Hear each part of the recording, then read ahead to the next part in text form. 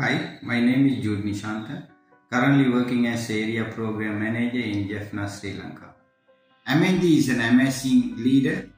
She is one of the best leaders I have ever worked with and I wish her all the very best.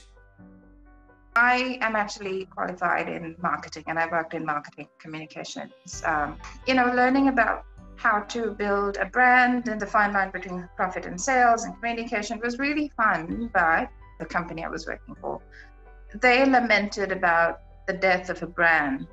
And something inside me sparked. I thought, oh my goodness, this isn't a real person. And it was then that I made the decision that I need to start doing something more meaningful with work, with the sort of talent that I had. And if you're not passionate about what you're marketing, and if you're not passionate about what you're talking about, then you're not going to really be very good at what you do. So um, in 2004, um, we had the devastating Asian tsunami. And in 2005, the, the need for us as a nation to really do something. And I started to work in a, a small disability organization. And it was the most rewarding time of my life. It was the best three and a half years of my life working with people with disabilities. And um, it was like waking up and coming home. I am beyond fortunate to have received um, quite a few opportunities to develop myself um, one such opportunity, of course, was the Deakin Humanitarian Leadership Program. And I have to say that was probably the most life changing leadership uh, course I'd ever been on. I'm happy to say that actually the course made me look at my staff differently, find, find out truly where they could go with the strengths that they had. I wouldn't have changed my course for the world. I still wouldn't. I'm staunchly humanitarian.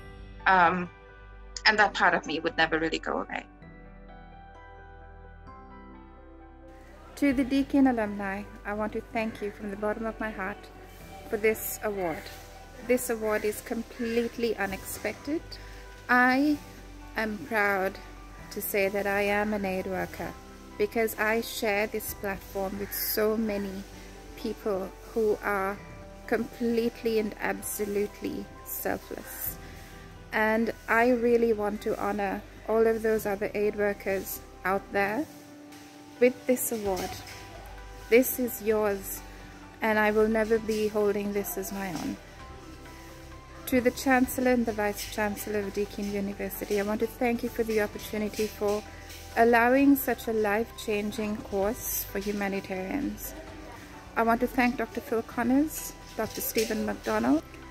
I want to finally give thanks to my support network, to my family and my friends. Um, it has been a fabulous few years and it wouldn't have been possible without you. And finally, finally, it is impossible to do the work that I do to the places that I'm sent to if I am not sufficiently guided. And I'm guided by a God above who has been instilled in me from my childhood.